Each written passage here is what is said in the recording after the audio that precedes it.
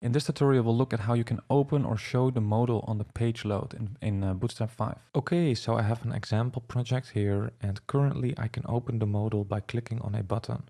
But now we want to see how we can do that when we first load the page. How do we open that modal? So here in the HTML, you can ignore everything else. I just have this modal. It's very similar to the example that they have in the documentation. And uh, it's using the Bootstrap 5 data attribute, right? So it has BS, make sure you have that as well. And yeah, so it's, it's just a Bootstrap 5, pretty typical modal component. Okay, so now we, we want to open this up when we load the page. So we do need to write a little bit of JavaScript here. So I'm linking to my own JavaScript file here in the head actually. We're using the defer attribute right? So it's really important that you have mastered the underlying fundamentals when you work with bootstrap. Those are both css as well as javascript. I have courses on them. Definitely check them out if you want to take those skills to an advanced professional level. Check the links in the description. Okay so there are basically two ways to do this. So option one first we need to get a reference to that modal right? So i will call that mode my modal my modal and you have to use new, this is going to look a little bit strange, but Bootstrap,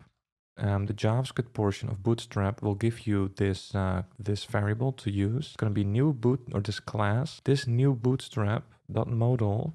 And then in here, you have to use the ID of the modal. So for me, that's, let's see, that's booking modal. You have to use the hashtag here, booking modal. So this will basically instantiate a uh, modal uh, object here. And then we can use that. We can say my modal dot show. Right, this is one of the methods that we can use for the modal. Now we don't want to do this um, right here at the top of the, the script. We do want to check for whether the DOM has the DOM content has loaded. So typically what you want to do is you want to attach an event listener to the window.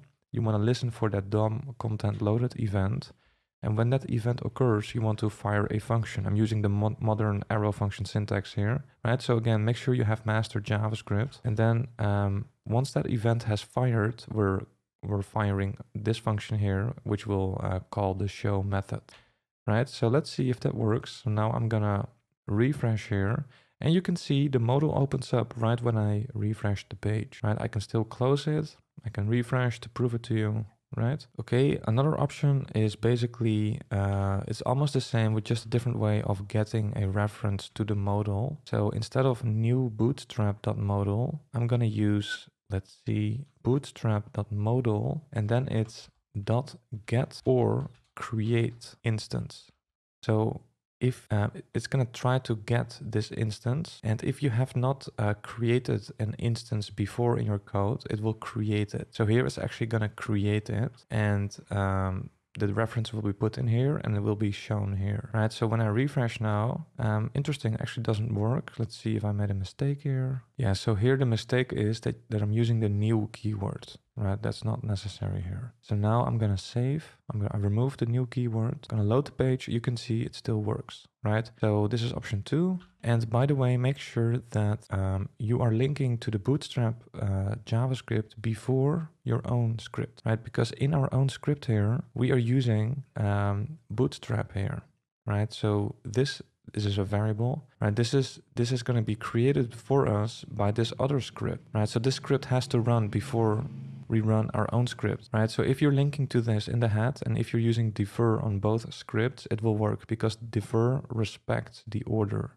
by the way, if this was helpful, I'd really appreciate it if you could like and subscribe. Also, check out my courses on CSS and JavaScript if you want to take those skills to an advanced level. Because in there, we will build some beautiful real world projects from scratch so you can see how everything fits together and really master CSS or JavaScript. And I will also release other courses soon like React and Node.js. So if you want to be notified, then make sure you are subscribed to the email newsletter. You can find the link in the description. Thanks for watching and I hope to see you soon.